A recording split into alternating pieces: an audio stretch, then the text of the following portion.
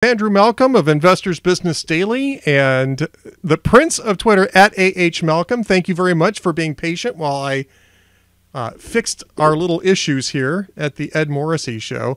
Um, the, what I was trying to do is I wanted to put a picture up on the screen. I'm not going to be able to do it because I don't want to necessarily risk screwing this up a, a second time.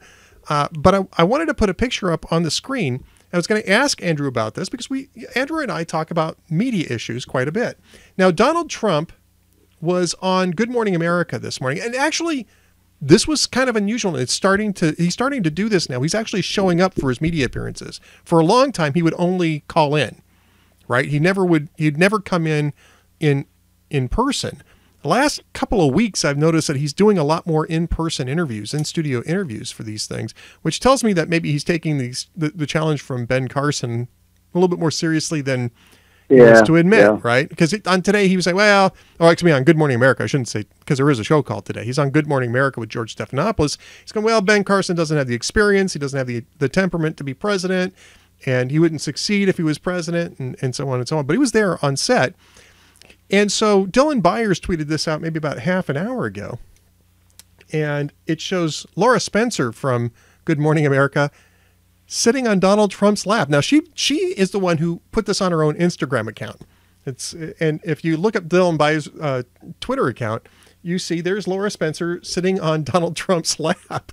And I'm thinking to myself, yeah, nothing says, you know, professionalism in journalism like sitting on a presidential candidate's lap.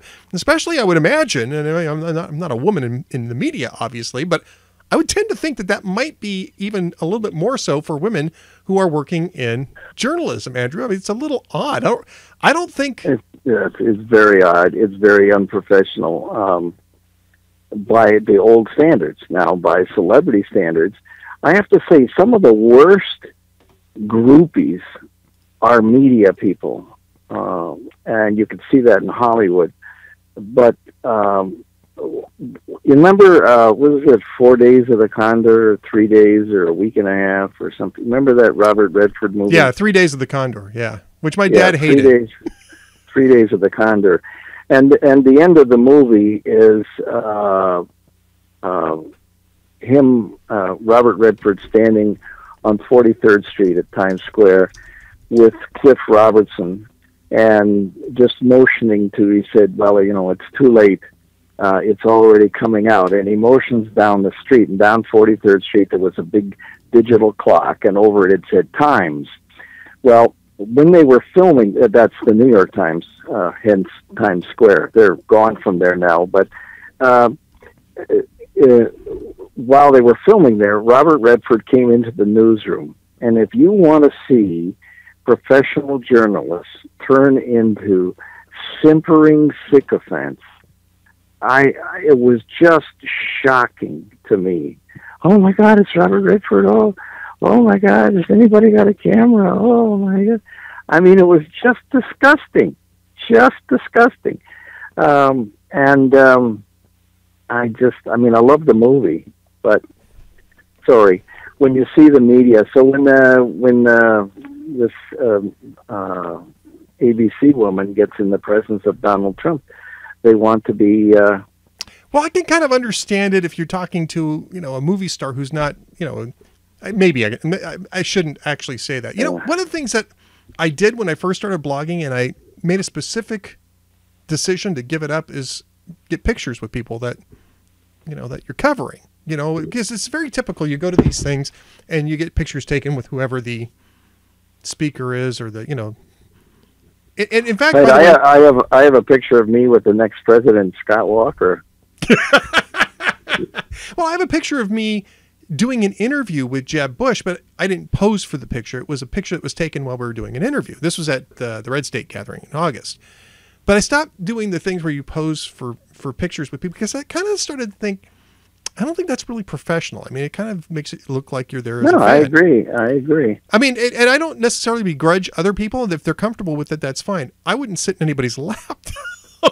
and, oh, by the way, you and I were at CPAC, right? When Sarah Palin came up and started taking pictures with a, a lot of people. And, and at CPAC, you have people who are just there as voters and activists. Totally a cool thing to get your picture taken with your favorite you know, uh, politician. Absolutely cool. But if you're there covering things, I, I just I think maybe that there's a little bit of a line there that maybe you shouldn't be looking to be you know sort of a fanboy of people and might want to just exercise a little restraint and that's just anything. You know, it, it, sitting on somebody's lap to do that. Yeah, right. It just it's Yeah. strange.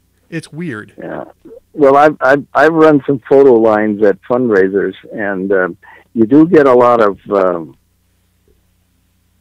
well, I, I wouldn't say well, maybe crazy, silly requests, and um, you know, you never want the candidate or his wife to have to be the one to say no. So I was always the no person.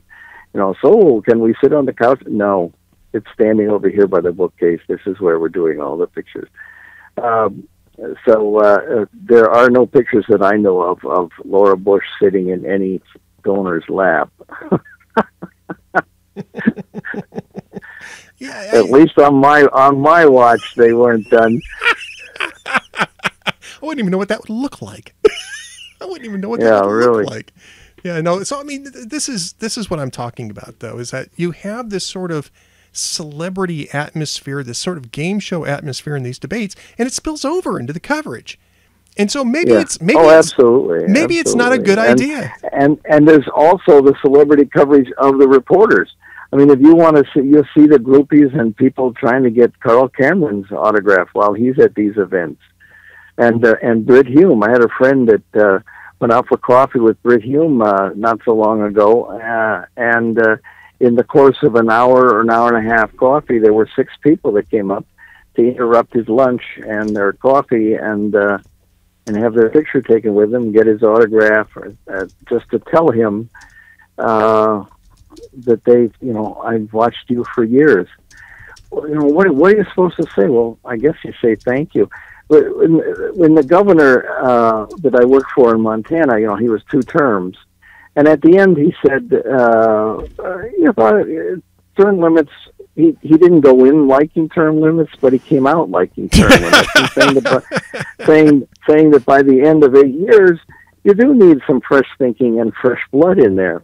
And then, as a sort of a sotto voce aside to me, he said, and besides, I'd like to have a dinner out with my wife without being interrupted a million times at the restaurant. You know, and and for each, for you know, bless them, they they like him, so they want to approach him, and this, and he's in the Yeah. business of wanting to be liked. Right, right. So, uh, and and for each one of them, it's only one interruption. But in the course of a dinner, an anniversary celebration, or something with your wife, we don't have Secret Service, uh, it's like, it's like twenty or twenty-five interruptions. So it's one for each person, but it's twenty-five for the target, and um, you know, it's it it gets old. Is Yeah. what it is. Is what is what it does. And Trump knows how to play this, so he did that. He knows now that's going to go viral. That picture, just like the Donna Rice Gary Hart picture. You would think uh, with Donna Rice sitting in Gary Hart's lap on a boat called Monkey Business when he was married that he would have uh, he would have thought of that in advance. But I guess not. I guess not. I guess not. And and I, I, I just it just seems to me to be a strange thing for a reporter be for a reporter to be doing, um, except for maybe if they're doing it with Hillary Clinton. That's all I'm saying. But at any rate, we're almost we're almost to the end of this, and I'm sorry because we took a chunk out of Andrew's uh, Andrew's time with us. yeah, here. really. I should uh, I should take some of that back from Guy P. Benson. Uh, I, I'm teasing. I'm teasing. I think you should. I think I think what we're going to do is we're going to we're going to start a petition here at the Ed Morrissey show. I said, you know, restore Andrew's time. Restore Andrew's time. Uh, you're right. Right. Free free speech. free the Malcolm. Free the Malcolm. There you go. We got to have a hashtag. Hashtag free the Malcolm. That's what we need. Hashtag free the Malcolm. I love it. I love it. But at any rate, before we get to that, we got to Anyway, do the so we gotta of the get the jokes here. Yeah. So Jimmy Fallon said that uh, Hillary Clinton uh, celebrated her 68th birthday last week, and she was asked by a reporter, "What was your favorite gift?" And she replied, "Donald Trump." that that plays into my uh, my theory that he's a stalking horse for her, just like uh, Ross Perot was for her husband uh, back in '92. So Conan O'Brien uh, says that the uh, the doctor, known affectionately as the father of Botox, has died, and his patients are just terribly grief stricken, but they have no way to show it.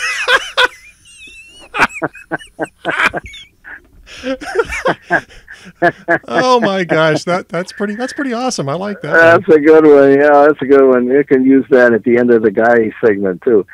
So Conan O'Brien also said that there's a new app out for people who are looking for a new house, uh, and you can determine with this app if the house has ever been used uh, as a meth house. And what the app does, it just asks you, is the house in Florida? Florida man, Florida man returns. oh man. Well, I, I, guess that's it, Andrew. Other than telling people that they should follow you because you are the prince of Twitter at AH That's right. And uh, and uh, not only not only should they be following you for that reason, but uh, just because you write at Investors Business Daily, investors.com slash Andrew Malcolm, which is uh, just fantastic. And people who aren't reading you on a regular basis will be beaten severely in the end. I'm just warning you folks. be the first up against the wall come the revolution. If yeah, you have not been we, we, we know who you are. We, have days. We have days to see who's not reading Andrew Malcolm. I'm telling you. Remember the Mel Brooks was uh, was uh, uh, uh, Carl Reiner was interviewing Mel Brooks and it, and it was uh, it was supposed to be an Argentinian rancher. Uh, and he said so. He was talking to him about ranching, and every once in a while, Mel Brooks would break out with, "The crust Poland in ten days' time." Carl Reiner says, "You know, I, I don't think you're an Argentinian rancher. said, but first tip you off. Anyway, um, thank you, Edward, and well, we'll see everybody back again here next week, right? Same bat time, same bat channel right here at the Ed Morrissey Show. Thanks again, Andrew, for coming on the show with us. We will talk to you again next week, senor. Okay, goodbye. Now I get to listen to Guy. There okay, you bye. go. Guy Benson now coming up here after Andrew Malcolm. I'm going to give Guy a call right now. And uh, oh, good, yeah, because that's what I really want to do at this point in time is do an upgrade to Skype in the middle of this show because things have been going so well. Um, no, so let's go ahead and give Guy Benson a call. This is this has been a, a great show for the um, for the production values for the. Uh, ah, now I can't even think of the name of it. Come on, chat room, help me out here. Trying to do three things at once here and doing and failing at all three of them. Open source production values. There you go. Open source production values. Thank you. Guy Benson coming up, of course, from townhall.com, the uh, senior editor, a political editor of townhall.com, a Fox News contributor, and a guy who uh, sometimes answers his phone. Sometimes, I should say. Sometimes he answers his phone. Sorry, Guy Benson is not available. Record your message. Well, we'll try this again.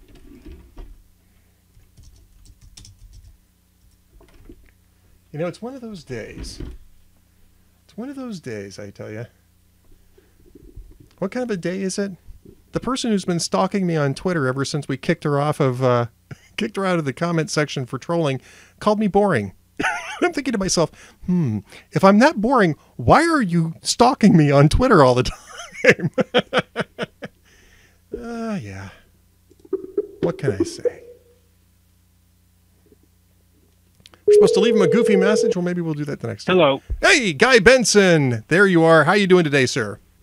Doing well. How are you? I am doing well. We're live on the Ed Morrissey show because I have no producer and uh, and so it's just me. It's just me when I call. You're always live, guy, and that's all right because you are always on as the political editor of townhall.com and uh, contributor at Fox News.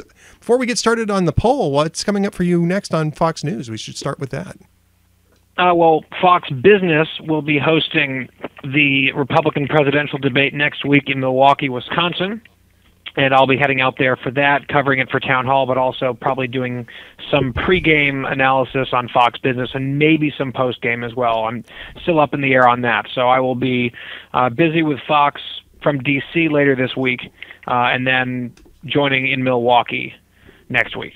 Wow. Okay. So there you go. You got a busy. You got a busy uh, November coming up. I think I'm supposed to go out to the. I think I'm supposed to go out to the December Las Vegas debate. So I don't know if you're going to be out there Yes. at the same time. So I will. I will be there. Yeah. Yeah, I, I kind of assume So uh, they're finally letting me out of the cage for a debate. I, don't- I don't know. Batten Will down the hatches. are you going to be in Chicago for the uh, WIND event? I have not heard anything about that, but I know WIND. They do great events, by the way. That's our Chicago affiliate, the Salem affiliate in um, in Chicago. It's uh, 5:40 a.m. if I remember correctly, right? 560. 5:60 a.m. Uh, and uh, they do great events down there. WIND events are a lot of fun, but I haven't heard anything more about that. So I'll let you know. But uh, for Please the, do. so for those of you who are in that area, that is going to be uh, what's the date on that um, event? Oh boy, uh, it's going to be. Hang on, hang on. Um, November 14th. Oh yeah, I don't think I'll be. I don't think I've got the time to do it now. That's that's coming up pretty quick, and I haven't heard anything from anybody. But uh, November fourteenth. So if you're in the area, November fourteenth, that's a week from Saturday. Um, be sure to be sure to check that out. So uh, they always have a lot of fun at the WIND events. Uh, so Guy, you and I got a chance to uh, to do the third hot air town hall survey, uh, or as you call it, the town hall hot air survey, and. What were your what were the big surprises for you this time around?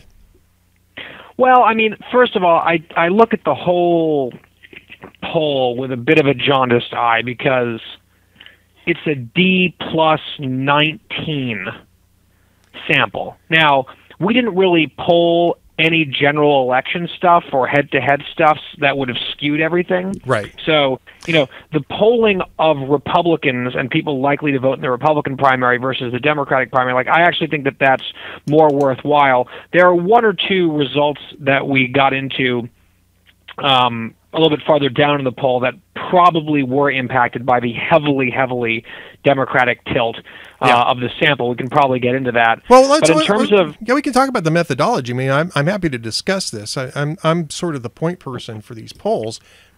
Survey Monkey is has got a 45 million person database, and what you do is you buy a number of uh, responses that that are qualifying responses. So for us, qualifying responses are a registered voters and b complete responses to our polls. So they have to answer every question, and that gets sent out in a random manner across the entire across our entire database. And basically, I think the first X number of people who respond to this poll is our sample.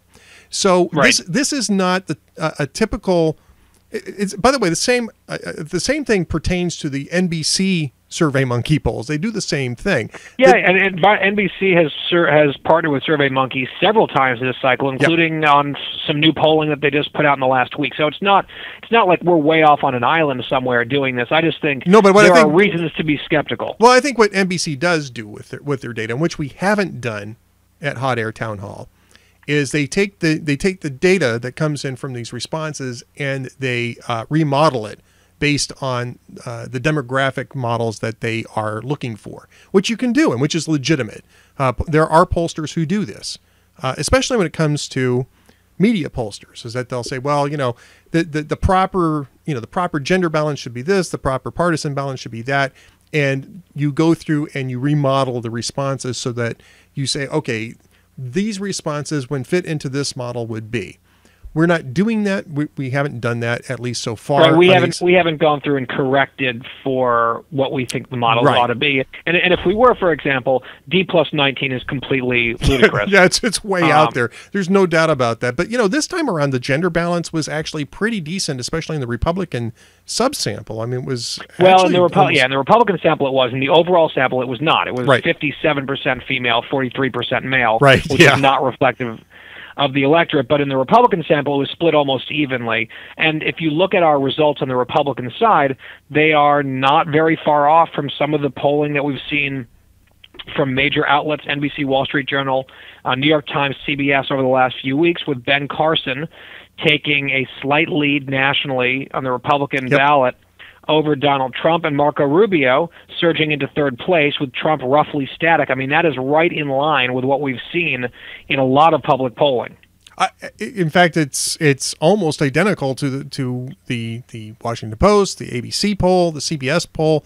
All of these are showing that that Carson's breaking up, and it, and it's also in line with what you're seeing at the RCP average. I mean, it was one of the things. I, one of the first things I checked is that Trump is actually losing ground. I mean, he slipped a little bit in our series over six weeks, but it's within the margin of error. The the the the actual move here has just been that Carson's picked up a lot more support.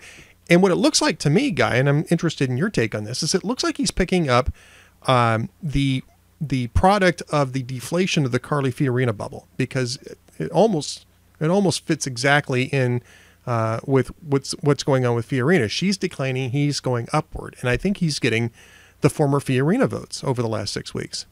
I think that's probably part of it. I think um, Rubio's probably getting a few of the Fiorina people. Probably Jeb folks are jumping ship and looking for someone else to, I think they're going to to Rubio. join.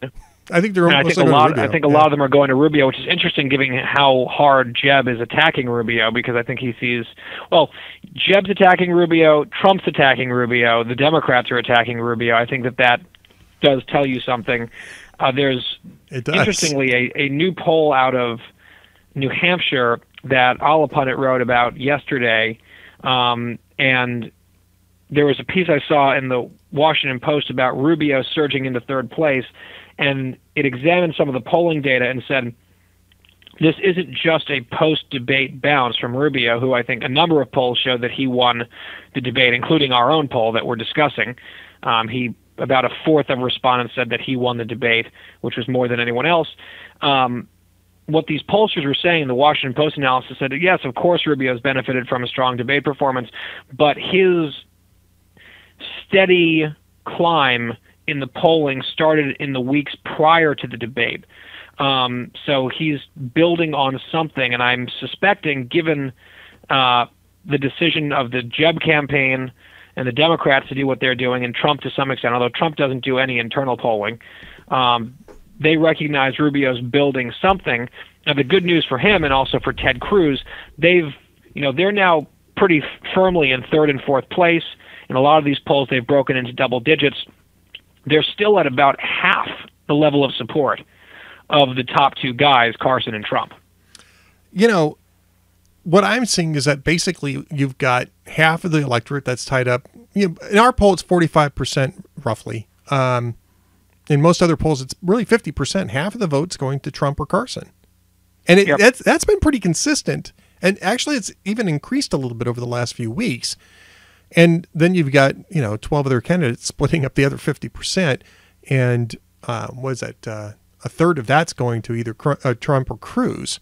So yeah, there's there's there's scraps down there at, at, uh, for most of these candidates, and and they're they're fighting over the scraps. One thing that I, I did find Well- interesting. Oh, go ahead, Guy. I'm sorry. I should. Let Well, I was just going to say one thing. I watched some of Trump's press conference today. I I couldn't really watch the whole thing just because a lot of it is just the exact same stuff he's been saying for his entire campaign, and lots of references to his own polling, um, accurate and inaccurate.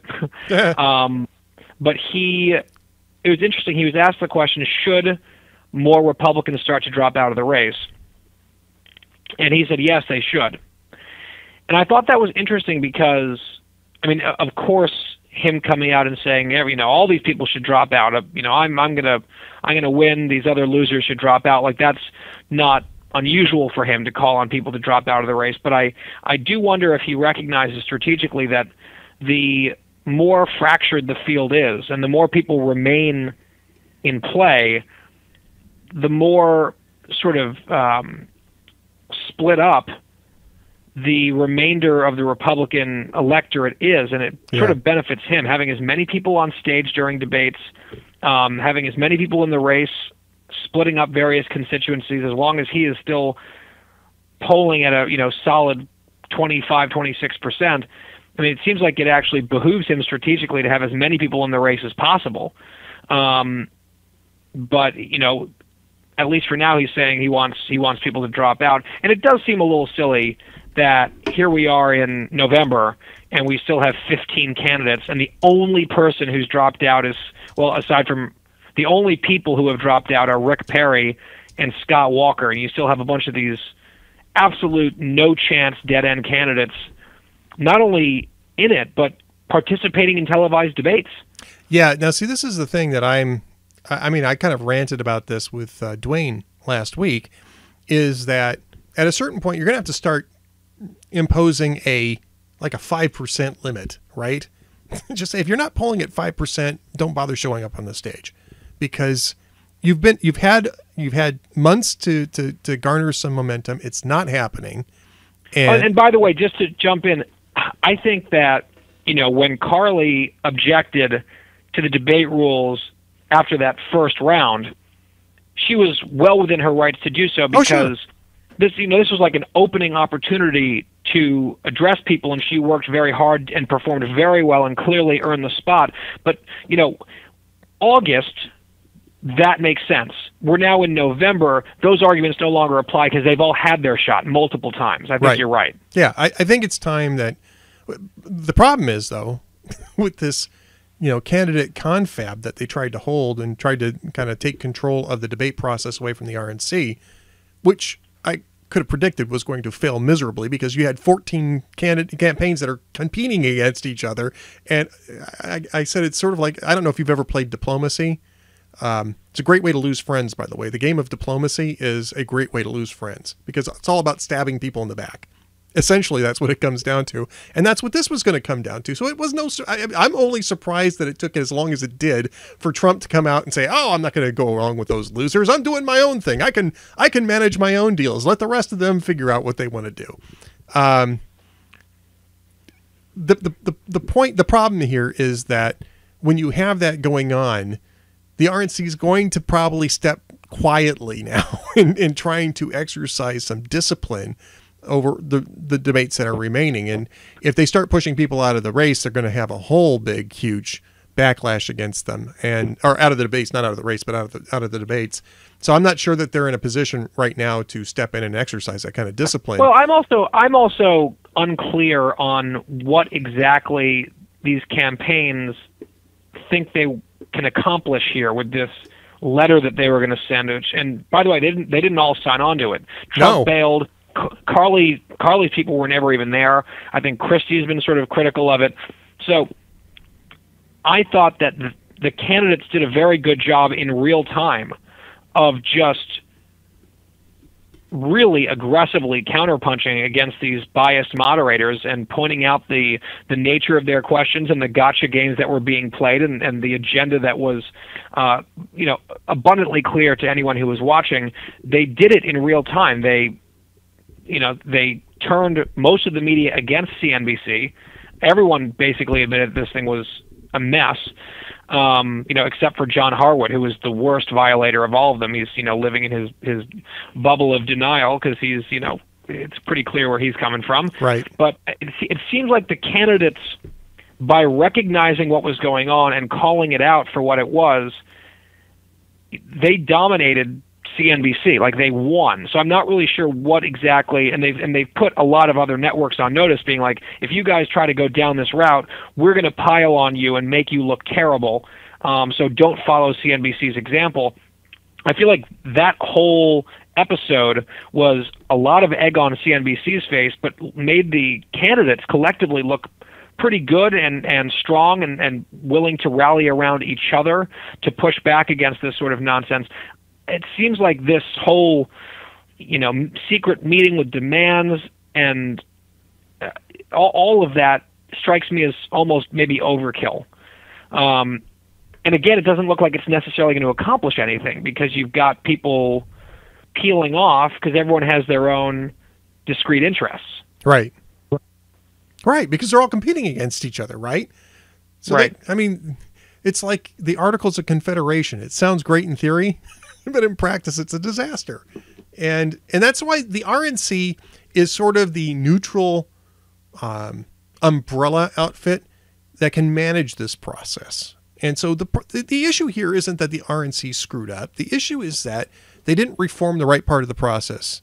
I mean, Priebus did a pretty good job of of getting the debates down to a manageable level, and in in putting together. If you take a look at what he said the agreement was with CNBC, the issue wasn't that Priebus didn't organize it properly. The, the, issue was basically that CNBC reneged on the agreement that they had with them. And so I don't know that having you know 14 campaigns with 14 different sets of demands uh, for every one of these debates is necessarily going to improve things. The issue is, is that you have to get away from these game show formats and go to a format that works in a way that's going to present conservative and Republican policies in, in a in a in a fair light, right?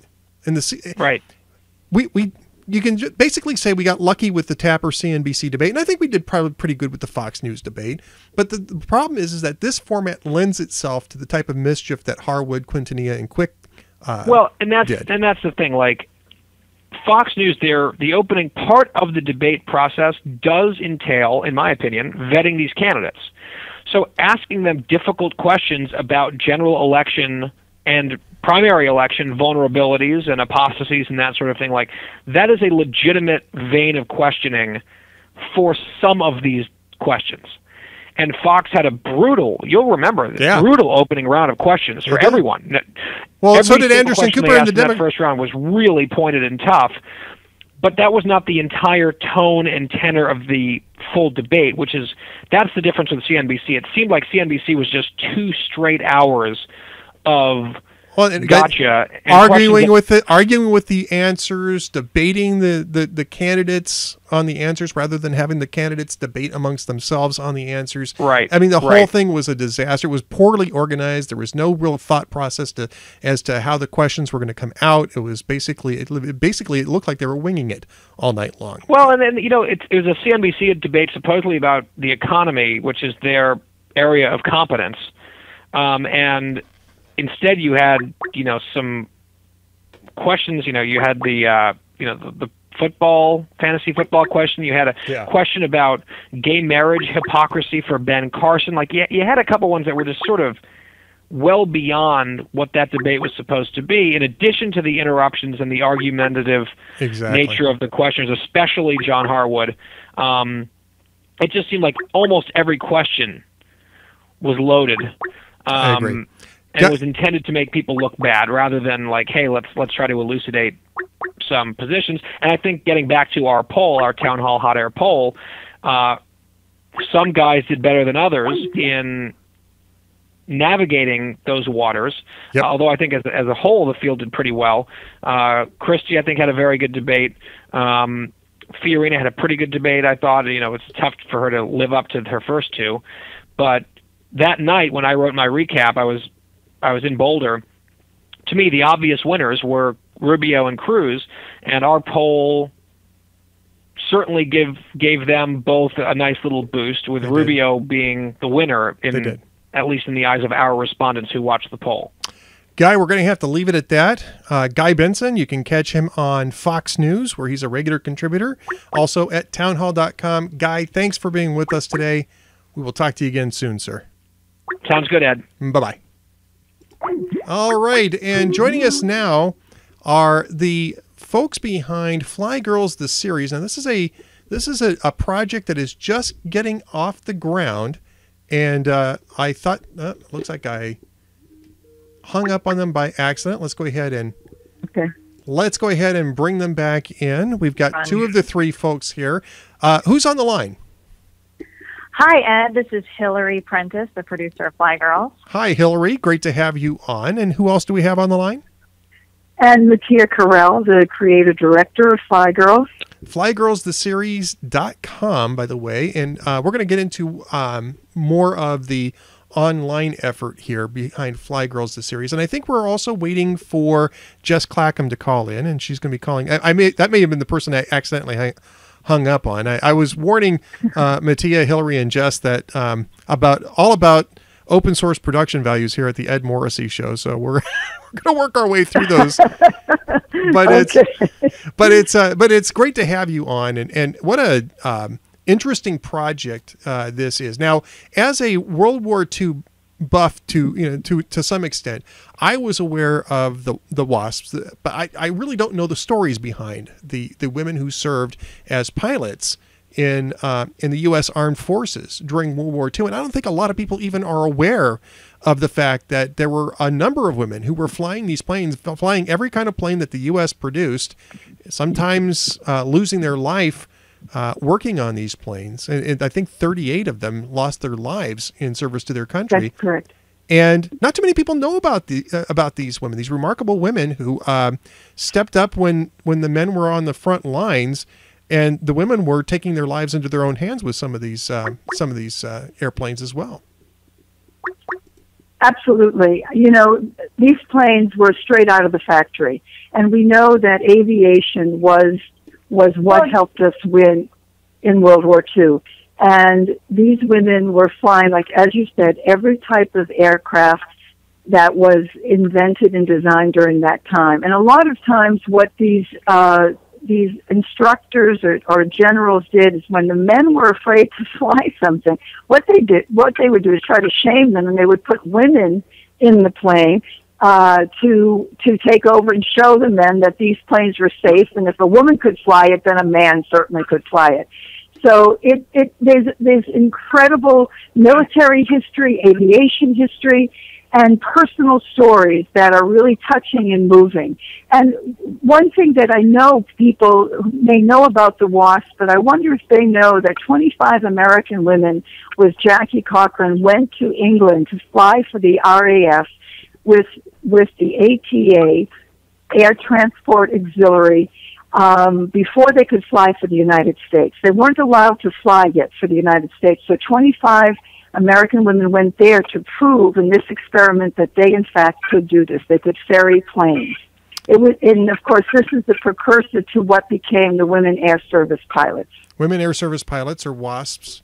Um, now, I'm, mm-hmm. I'm using WASPs with the plural because it just it's hard to just say wasp and then and then let it be plural because that's technically the correct form, but in, in conversation it's it's difficult. So I hope you'll hope you'll forgive me if I'm saying wasps. But yeah, women air service pilots, right. women air service pilots. Uh, I think people know about the waves and the WACs. I don't think they know too much about the uh, wasps. Hillary, what is it that drew you to this project? Wow. Well, I was a history major at Dartmouth College, and I'm sorry, dear old Dartmouth, I did not know about the WASP. Um, I did not know about them until uh, 2012 when I first met Mattia, and we were looking at um, her version of this uh, production was actually a play, and she told a very moving story of, of putting the play on in Provincetown, Cape Cod, and um, Miss uh, Bee. Haydu, one of our Waston residents, as I like to call them. Are, we have we have three women um, still alive and flying who are our consultants. Um, and at the end of the play, Bee came down in her uniform, and everybody in the audience, it's hard for me to talk about without even tearing up, everybody in the audience just burst into tears and clapped and stood up and gave her a standing ovation. And it's, and it's that same sense of these these women who who broke down you know these barriers who broke down every barrier. A lot of women wouldn't weren't driving at this time let alone flying planes. So for me they're a big source of inspiration and i think that everybody ought to know about them. And uh, i hope that you know we will change that with fly girls that everybody will know about these women. And certainly while these women are still alive because unfortunately there's very few of them left with us today. So I, I, I would like for them to know that their legacy will be remembered. And Jess Clackham, I think, is on the line with us now. Jess is actually the one who brought this to my attention first because Jess is sort of like all over Twitter, and uh, and and, uh, and, and she is she has been a a, a great um, ambassador, I think, for this project. And um, just what is it that uh, first off uh, explain to the folks who you are in this project and what is it that uh, brought you into this? I mean what is it that, that spoke to you about this? Well i'm the and hi everybody. I'm the director of social media and veterans liaison for the project.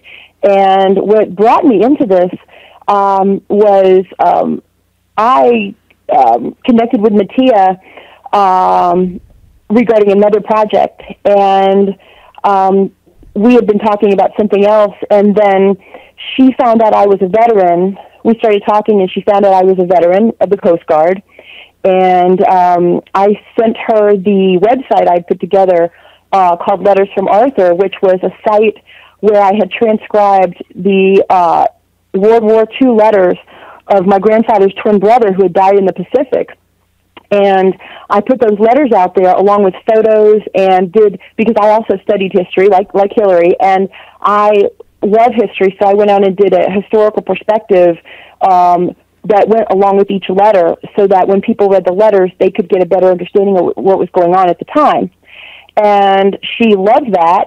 And one thing led to another and she sent me the promo trailer and I cried the first time I saw it and every time after that for a long time um, because it's so moving and that was it. So That's you're, you're what hooked. did it. You're hooked. All three of you are hooked on this story.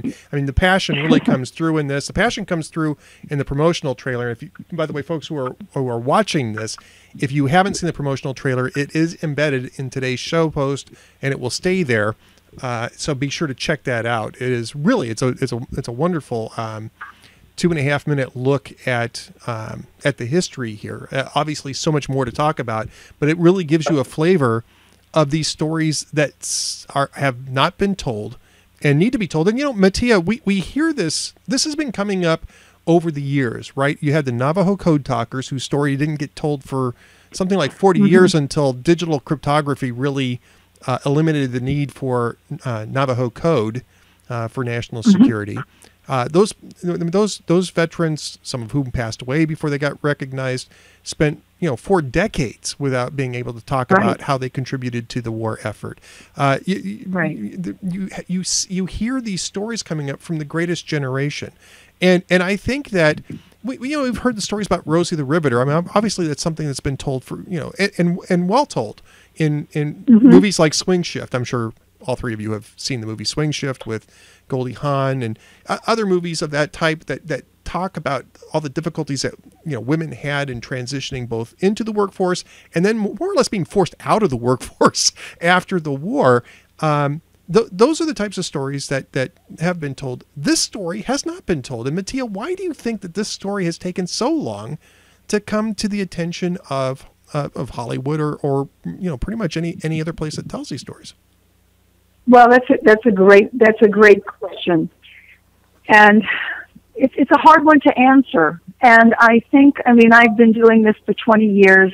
I did uh, create a feature film uh, many years ago, but at that time the idea of an all female cast or the majority of cast being female was was I think frightening to studio heads, and it's it's a shame because either they treat women's stories as little quaint little films, you know, sort of like a, a masterpiece veneer over it, and also th- th- there's the other part. Let's uh, put I won't put all the blame on the studios and networks for lack of imagination, but the, the, the women themselves were more reticent after the war. They didn't want to overshadow their husbands or their husbands' contributions to the war effort. So when I started my research, maybe there was a handful of books or memoirs. Now there's there's there's maybe hundreds of these memoirs that are out there. And now, of course, the timing is so right. There's a huge movement in Hollywood about putting the mes- message out there that we need more women's stories, more women in front of the camera, more women behind the camera. And the only way that it's going to happen is if we as women push, create these stories. Because and this is not disrespectful to any man, but it's, it's our responsibility in a way to to make, to create this story and get it out there. And I think our timing is exactly right now. People are ready.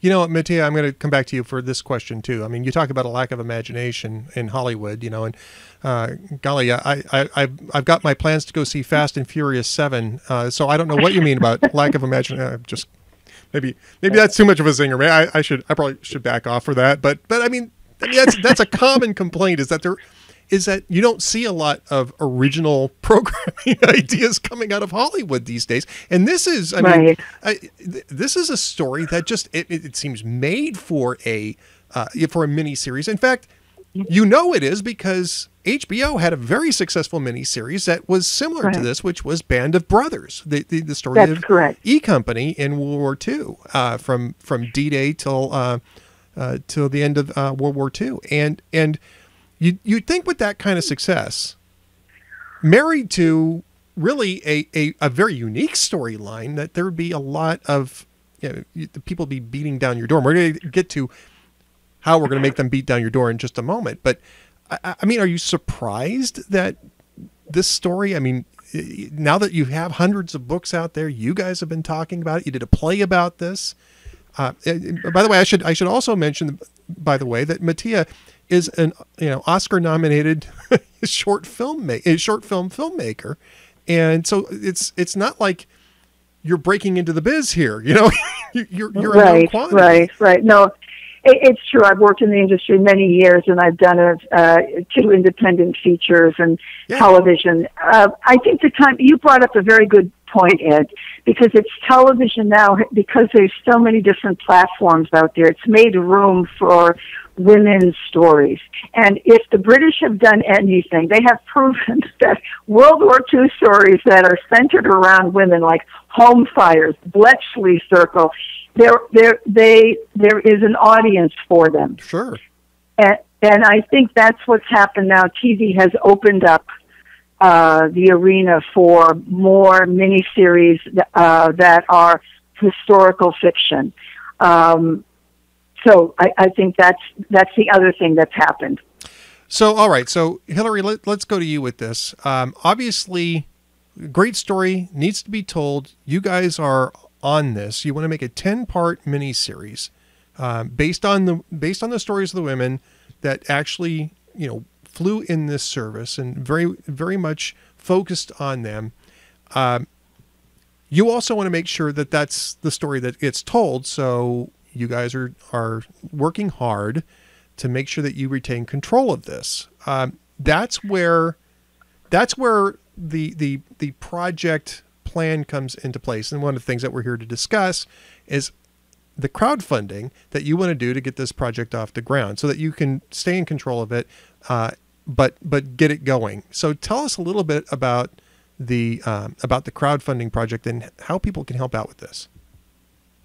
Sure. Thank you, Ed. Um, the crowdfunding does two things. Number one, it demonstrates that we have an audience, that we have support. So, something that we say on our Facebook and Twitter is that even if you have a dollar, uh, one dollar does a lot because you know right now I think we have last time I checked before we got on the air we have 132 contributors after our first week, which I think is really great, and we have now over 5,000 about 5,200 fans on Facebook. So if each one of those Facebook fans gave you know eight dollars or seven dollars something like that we would be more than funded. And that would be so powerful to have our fans to have 5000 contributors. I mean that's that would be amazing. I would much prefer that over somebody coming in you know a couple people coming in and making up the difference right now.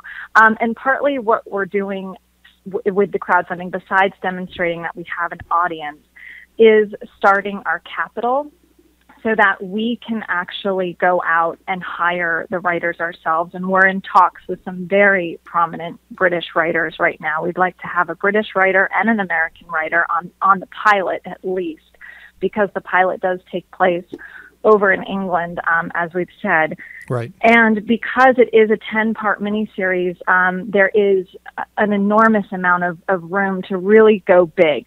It's kind of like go big or go home. We're going epic here. And we're going to include women who flew from different countries. There were at least 32 different countries that were flying that had women representatives that were flying for the ATA. And, and then, of course, you have the women who were in France, the American women who were helping in France and the images of them of these squares filled with women in military uniform it, it just it's stunning and we do not have images like this. We do not see this on TV, and we do not see this in film.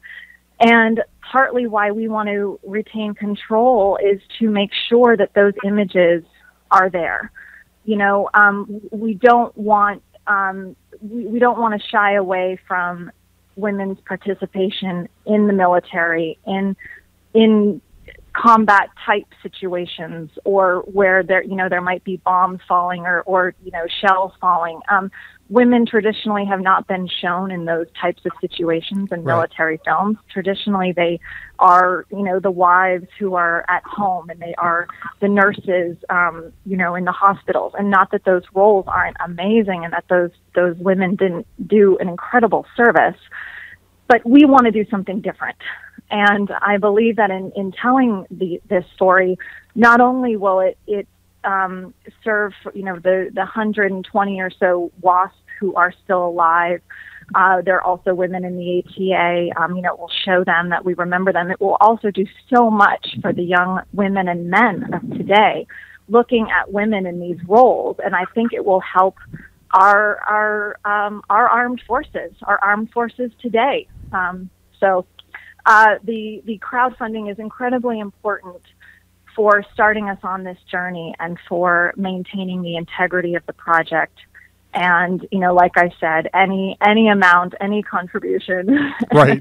um, is is goes goes a long goes a long way. Well, we, we, we, we've, we've had this discussion, by the way, uh, for those of you who are watching the show and remember this, we've had this discussion with Phelan McAleer, uh, who crowdfunded uh, two of his films, and he said the exact same thing. In order to get people to take you seriously, you have to show that there's a fairly broad uh, base of support, and that's the reason why just kicking in a dollar is much more valuable than you than you'd otherwise think. Now, uh, Jess, I'm going to turn to you here. Since you're the um, director of social media for this project, you know the pressure's on here, right? I mean, you you you, you got to get this thing. I, don't want to I don't want to freak you out, but the pressure's on, right? You you got to get this thing going. I'm freaking out. No, it is the, the pressure is on. We work very hard every day to do this, but I love this. This is my. I love reaching out to people and networking. I'm good at it. I love people, and I just am able to. We each bring something very unique Yeah. to the project, and um, one thing that we, one of the things that we all have in common is passion for it, and you have to have that to really engage people on social media. They need to not only they need to feel it when they're reading your tweets and when they're reading your posts on Facebook. They need to feel it, and they do. And I I really enjoy it. Um, it's really a second full time job. It's you, you eat, sleep, dream um, this project, and um, people won't donate or they won't be interested if we're not passionate about it, and that and we are. And like Harry said, I mean, we have we have so many people on our Facebook, and we're gaining Twitter followers. We're getting retweets all the time. We we have thousands of comments and thousands of uh, likes and shares and emails coming in. I mean, the numbers now. I was thinking about this today that this the social media campaign has just taken on a life of its own. The momentum is incredible. The numbers won't dwindle. They're only going up every day. People are talking about this every day. That's great. It's really amazing.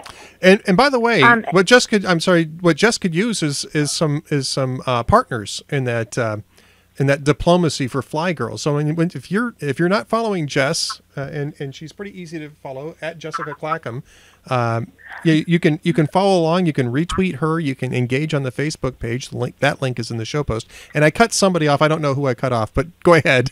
Oh, I was just going to jump in, and this is Hillary. I was just going to jump in and say that one of the things that I love about our Facebook pages and, and our Twitter feed um, is that it's also becoming a platform for women in the military, um, mostly you know recent veterans, um, to come forth and share photos of themselves in uniform and also their stories. And we've even had some women from the UK reach out to us. And believe it or not, over in the UK, they engage in, in World War II reenactments, including dressing up as our WASP. So Wow. we have UK women celebrating the WASP in World War II reenactments, and they've sent us photos and we've posted them on our page. We also get photos and stories from children of the WASP, and we've had a number of contributions from WASP children, and that makes us uh, just it's so gratifying. I can't even tell you. And they've been waiting for these stories of their mothers to be told. So And they that's should what be we're told. doing. and they should be told. I mean, I think this is a great project. Uh, I can't wait to, to for it to to hit the hit the television screens and one platform or another, so we can all find out a little bit more about the uh, women air, service pilots and and the contribution, the significant contribution they made to uh, to to victory in World War II.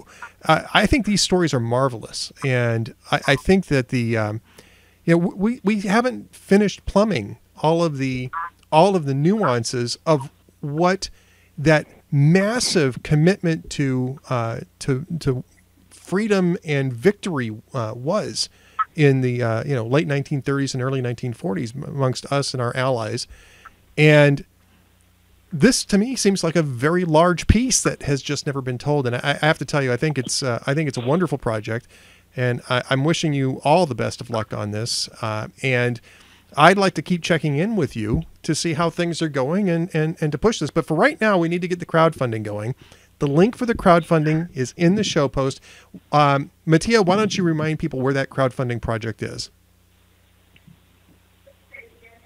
I'd say maybe Mattia is is is off the line. Uh, Hillary, um, uh, where is that crowdfunding project located at? Oh, sure. Um, Mattia, you might have put put him on mute by accident. Sorry. I, yeah, yeah. Well, that's okay. A lot of people put me on mute, Mattia. I mean, that's nothing new. Time to shut up the director. Yeah. Yeah, that's nothing new. um, and we're on Fundreamer. Um, Mattia was at the DGA for a, a crowdfunding seminar actually before we went and, and started this endeavor. And um, a CEO of Fundreamer found out about Mattia's project and uh, absolutely loves it, like we all do. And so uh, we are on their platform, and you can find us. It's fundreamer.com forward slash uh, Fly Girls series. And of course, there's a flygirlsseries.com website, which will direct you to the crowdfunding as well. The links are in the show That's post, right. including the Facebook page. The links are in the show post. I encourage people to, to follow that. I don't have uh, Jess Clackham's um, Twitter handle in the in the show post, but it's at Jessica Clackham. And if you just look at my my Twitter feed, I've been retweeting Jessica all day long. so Thank you. you'll find it. Well, You do that all the time. Well, it's because you've been retweeting me all day long. So it's kind of like I do. it's this mutual admiration society that that's, this is Twitter in a nutshell, right? So we just retweet each other all It day. This is how it works. this is how exactly how it works. So yeah, be sure to follow Jessica. Be sure to get on the Facebook page. Be sure to, if even if it's a dollar, hit that uh, crowdfunding page and and push this project closer to uh, closer to reality, closer to victory for the women who served in the in the wasps. And uh, Hey, Ed, yes, I wanted to add one more thing if I could. Absolutely. Um, I, I'm sorry, I didn't mean to interrupt, but I, I wanted to know also if we could throw the Fly Girl series Twitter handle out there as well. oh yeah, absolutely. What is the Fly Girl series uh, Twitter handle? It is Fly Girl series. Fly Girls series. Uh, is Make that sure, sure they can follow me, but we'd love if they follow Fly Girls because we keep that updated constantly. There you go, Fly Girl series. And uh, if you go and check out uh, Jessica's Twitter feed, I'm sure you'll find it there as well, uh, along with everybody else's, along with everybody else's tweets. She's good at this, by the way. She's really good at this, and uh, and and and she talks about transmitting a sense of excitement. I got that immediately from uh, interacting with Jess on Twitter. So, uh, which is the reason why we're doing this because I'm I'm excited about this project. I want to see it become a reality. Um, Mattia Carroll, H- Hillary Prentice, and Jess Clackham, thank you so much for being with us today. Thank you, Thank you so Ed. much, Thank Ed. you so much for giving us the time. My pleasure. Thank we'll, you, Ed. We'll talk to you again soon. Take Okay. care. Thanks. Take care. Thank Bye-bye. you. Bye bye. Bye bye. All right. I want to thank Hillary, uh, uh, Mattia, and Jess for coming on and discussing this because I, I got to tell you, I mean, there's that I, I'm a buff of, of history and, and World War II and 20th century history in particular. Excuse me. And so this is to me sort of like, you know, kid in a candy store type of stuff. I can't wait to hear these stories. I can't wait to see how this unfolds. And and there this group of women are very very committed to making sure that these stories get on the screen in the right way. And so excuse me, I think that uh, this is a project that we can all get behind. We've done it before. We did it for Phelan McAleer and Ann McElhinney. We've done it a couple times for them. We can do it for uh, Fly Girls too, I think, and, and the women who served in the WASPs. Uh, I think it's fantastic, and I'm looking forward to it. All right, I want to thank everybody who's been on the show today. Guy Benson, of course, who I had to kick off because the other people were coming in. Excuse me. Andrew Malcolm, who I had to interrupt because I screwed up the software somehow on the show. So it's been a whole day of open source production values here at the Ed Morrissey Show. Who knew? That never happens here. Thursday, we're going to come back for more with Duane Generalissimo Patterson of the Hugh Hewitt Show. We're also going to talk. I think I mentioned, I mentioned uh, the Navajo Code Talkers as uh, part of, um, as part of you know the, the type of thing that you didn't hear much about until decades after the war was over. But um, I think we're going to try to get um, a, a, member of the uh, Navajo Nation to come on and talk about the EPA and the and the mine spill and how it's impacted their um, how it's impacted their um, their land and, and, their and their way of life down there. This is the the Gold King uh, mine spill in Colorado that uh, dumped all the uh, dumped that horrible pent up uh, toxic waste into the Navajos' water. And uh, so we're going to talk to them about that and about uh, EPA and, and how they operate on Thursday. We're also going to talk, uh, and this is all coming together, to Sue Ellen Browder, who wrote a book called Subverted about the women's movement and how it was um, and how it was kind of co-opted by the hard left and uh, turned into something that it wasn't really intended to be and how she kind of got duped into it. So that'll, that'll be an interesting story. I'm looking forward to uh, talking with her, talking with the Navajo Nation uh, representative, as well as Duane Patterson, as usual. 4 p.m. Eastern Time, 3 p.m. Central, 1 on the left coast. Um, uh, I just happened to catch something in the in the in the in the chat room um, and all I saw at first was, you don't think Ed could make a pretty girl? Um, no. no, I, I am not trying out for a role on Fly Girls. no, I, I think that would be a bad idea. I'm happy to be a viewer of Fly Girls when it hits the when it hits the screens, but yeah, no, I I don't think anybody wants me as a as a woman pilot in the, in the 1940s. That would just not would not be prudent. Not going to go there. See, this is the thing. You turn around, you look at the chat room, and all of a sudden you've broken out all the context of the stuff that you were talking about. We'll be back, though, on Thursday, 4 p.m. Eastern Time, 3 p.m. Central. 4 p.m. Eastern Time, 3 p.m. Central, 1 on the left coast. I want to thank the folks in the chat room who are um, who've been patient today with uh, all of the goofy all the goofiness that has gone on in today's uh, Ed Morrissey show. Cranky T-Rex, of course, the guy who runs the chat room every single show at Cranky T-Rex on Twitter. CrankyTrex.blogspot.com is where he blogs. Buzzpo.com is where he writes, and occasionally at hotair.com as well. Monster is back with us, and it's always great to have the monster back. Uh, at Sum Ergo Monstro on Twitter. Uh, e3gazette.blogspot.com is his blog now. So uh, be sure to check that out as well. Don't forget to put your own URLs up in the chat room. We're all about shameless blog promotion here at the Ed Morrissey Show, as well as doing some walking music here so that we can. Uh, let's see if I can keep this from getting screwed up. I don't know if that's the case, but we'll give it a try. Else been in the chat room? Let's go ahead and run down the list. We've got Breck Nichols, one of the fabulous triples, and the Hugh Crew Cruise Conservative and liberal hands, Juanito Cabron, Mr. Fastbucks, another one of the fabulous triples. The Hugh Hewitt Show, by the way, starts in a half hour. You can watch it at the Hugniverse, H-U-G-H-N-I-V-E-R-S-E dot com. The troll-free web surfing experience for Hugh Hewitt fans. I am a list, I am a, excuse me, I'm a member. You should be a member as well. My sister's brother, Prairie Dog SD. Say hi to Mrs. Prairie Dog for me. Scoot65, T-Ran, Via Paso at the Ancestral Morrissey Months. And the first mate behind me, keeping me on the straight and narrow. The narrow. All right, folks, don't forget Thursday, 4 p.m. Eastern Time, 3 p.m. Central, 1 on the left coast. Don't miss a minute of the Ed Morrissey Show. We'll see you later.